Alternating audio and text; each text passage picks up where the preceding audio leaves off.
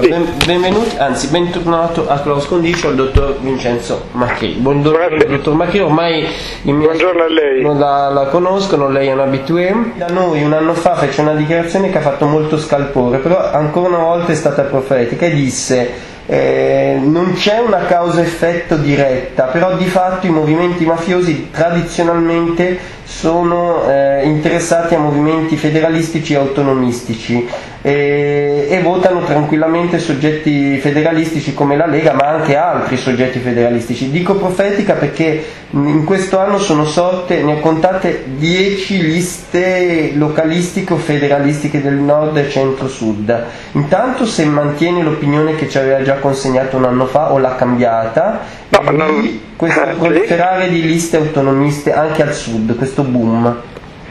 Eh, guardi, eh, quelle mie dichiarazioni hanno suscitato tante polemiche, però non le smentisco, certamente non ho cambiato idea, no, non ho cambiato idea naturalmente, e, e, penso anzi che questa tendenza si rafforzerà, soprattutto in un momento di crisi politica come questa, di crisi dei partiti, di nuove eh, consultazioni elettorali che potrebbero segnare anche una terza repubblica e allora questo tipo di movimenti sarà sempre più numeroso. Uh-huh. e soprattutto è pericoloso quello che avviene al sud, eh, cioè la nascita di, di, di, di, leghe o di movimenti eh, similleghe al sud è sicuramente pericoloso perché in alcune di esse quantomeno potrebbero nascondersi interessi eh, di tipo mafioso, perché non dimentichiamoci mai quello che disse eh, un collaboratore siciliano mm eh, Leonardo Messina davanti alla Commissione parlamentare antimafia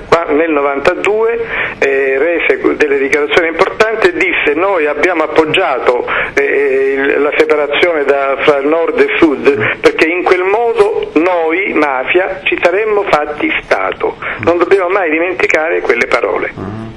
Quindi non smentisce nulla, non smentisce che i VOS possano votare queste liste del Sud come anche la Lega, quello che ci ha già detto, insomma, non lo smentisce. No, non, non, anzi voglio dire, credo che questi, questi fatti ulteriori confermino una marea, una marea, lei è stato sì, profetico. Eh sì, sì, ma insomma non era difficile, almeno per me non era difficile. Di poi, ma insomma eh, lei l'ha detto, si è presa anche delle critiche, poi in realtà sì, sì, è successo che c'è un proliferare di queste liste. L'ultima, Prendo atto. Eh, l'ultima cosa, lei l'ha già accennata, però forse una focalizzazione, crisi economica accentua il pericolo, cioè la mafia o le mafie possono diventare un player importante e finanziare alcune di queste liste o comunque patrocinarle, l'ha già detto insomma.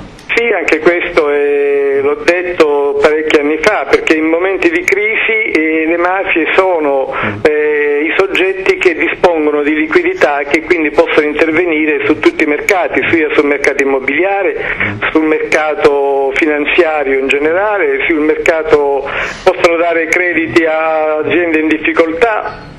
A imprenditori in difficoltà, possono acquistare quote di società, eh, esercizi commerciali e quant'altro e possono riciclare più facilmente. Quindi e le crisi aiutano le mafie. Aiutano certo. le mafie. Un uh, politico di queste liste eh, disse non intitoliamo l'aeroporto di Palermo a, Falcone, a nome di Falcone Borsellino. Quando si fanno queste uscite così, tipo questa o Mangano è un eroe, eccetera, sono messaggi, metamessaggi?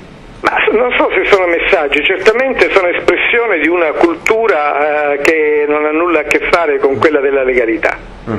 Eh, sono espressione di una cultura arretrata che vorrebbe appunto relegare le mafie in un museo, come stanno facendo a Las Vegas, e chiudere, secondo loro, una, la partita dell'antimafia, una volta per sempre. Mm. Ok, dottor Martini. Grazie altrettanto. Arrivederci.